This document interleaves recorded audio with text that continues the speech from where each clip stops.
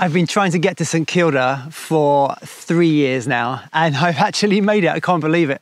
Um, this place is incredible.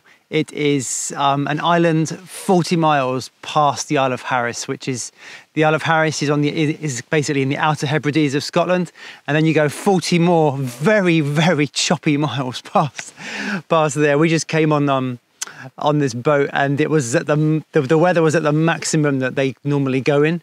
Um, so we were literally just thrown everywhere, but it was completely worth it because this place is incredible. It um, is an island that was inhabited for 4,000 years continually until 1930 when the residents decided to abandon the island because it was just too difficult to live on. And, you know, I've only been here for half an hour and already I can just, I've got so much respect for them for even trying.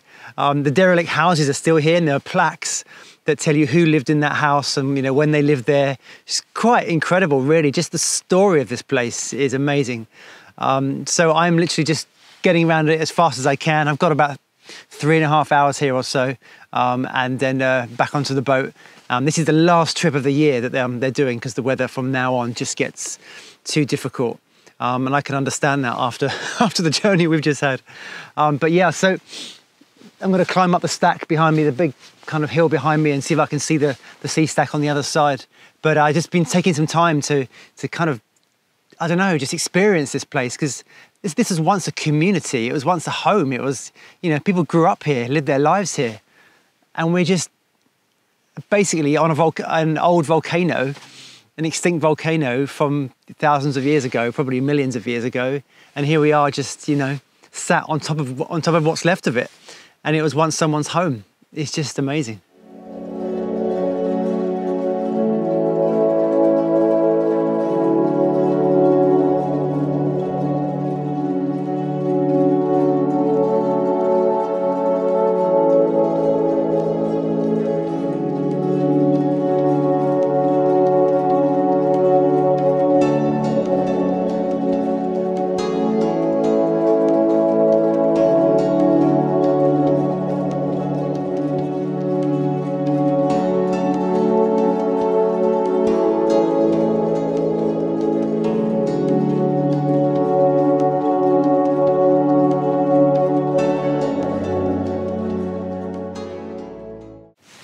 When um, just going to get over these rocks.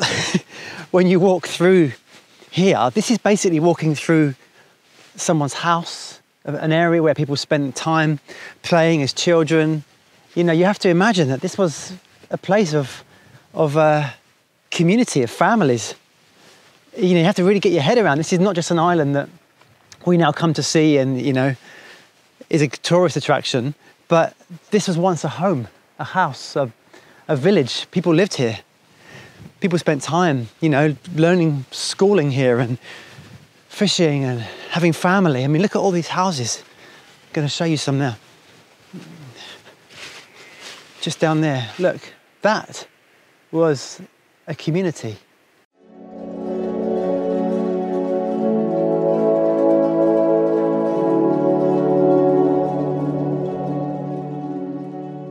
You can imagine just how, you know, kids would have run through here playing in this kind of place. Look at these little kind of, I'm not sure even what to call them.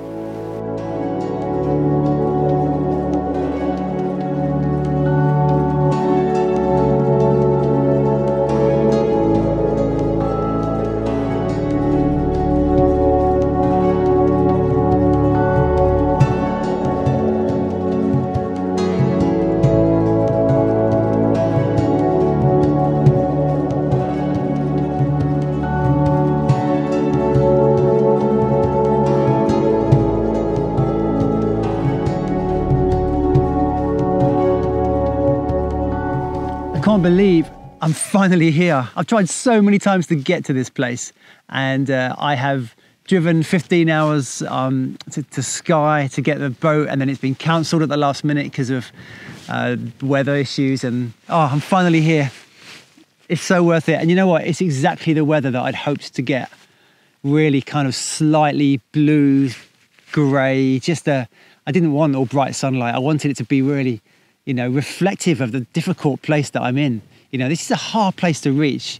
Even the guy who um, was uh, who brought me over on, on on the boat, he was saying that you know this is a really tough place to reach, even for them when they bring people over. Like the boat ride was just so choppy and really bumpy and there are a few times you think oh my goodness are we, are we going to go over you know because we're basically on an old volcano this was once uh, i think it's like a six mile radius um, beneath us is what was once a volcano and so it's a tough place to reach and as you get near it it gets choppier and choppier because of the um, the rise in the um, ocean floor but anyway i'm here and uh, this has been probably one of my toughest photo shoots. For some reason, it's just felt hard, and I had to work so hard for every photo. But that makes it worthwhile. You know, it makes the shots much more um, rewarding, and uh, I can't wait to get these in my book. And yeah, I'm so happy.